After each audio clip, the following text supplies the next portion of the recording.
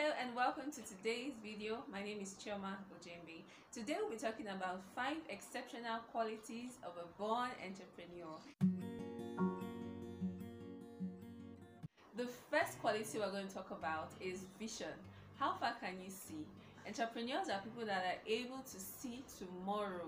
They can predict how the market will go. They can predict people's choices they can predict a lot of things and there are people that are able to predict trends. There are people that can you know they just look at um, they just imagine the economy. They could pick up a sector and say oh okay i know the clothing industry is going to go like this in the next five years. So i'm going to you know i think i'm going to take this path to help or to offer such a service that is needed in the clothing session. So visionary people are entrepreneurs they are people that see ahead they can tell what's gonna happen and all of that.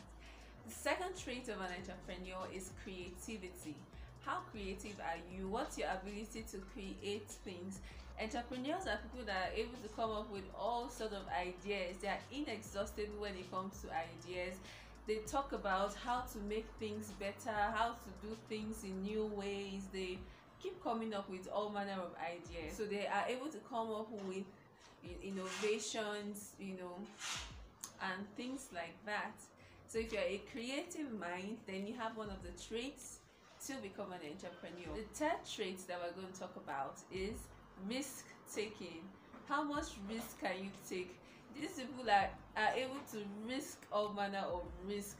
In short you cannot be an entrepreneur if you're not able to, to take risk because entrepreneurship you know sometimes you might have to take loans you might have to you know be in in so much of debt you know just to start your business you know it takes a lot of heart to do that so if you're such a person that you really you can take risks i don't know if there's any such things like things like liking to take risks but if you're such a person that can take risks then you have one of the traits to become an entrepreneur.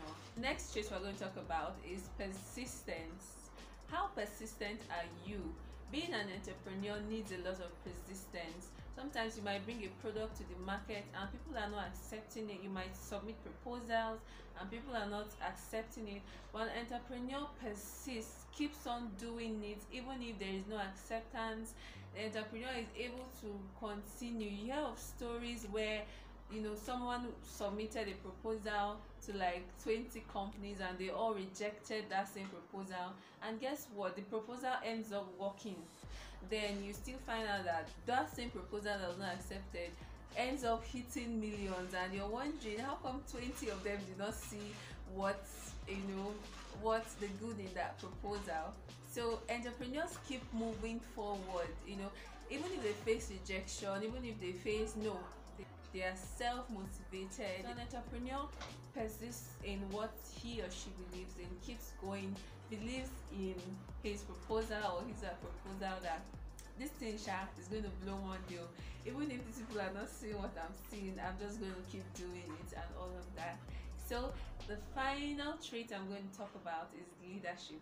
Leadership is the ability to influence others.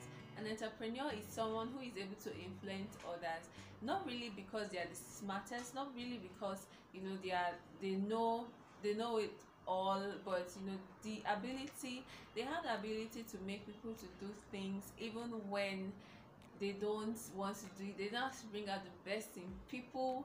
There are people that lead even the smartest of people that's what it takes to be a leader. They they are not the smartest right? But they are leading people that are smarter than them. So that's what it takes to be a leader. So and that's one trait of being an entrepreneur. So if you have any of these five traits what are you waiting for? You have absolutely what it takes. Thank you so much for watching and until i come your way in the next video it's goodbye.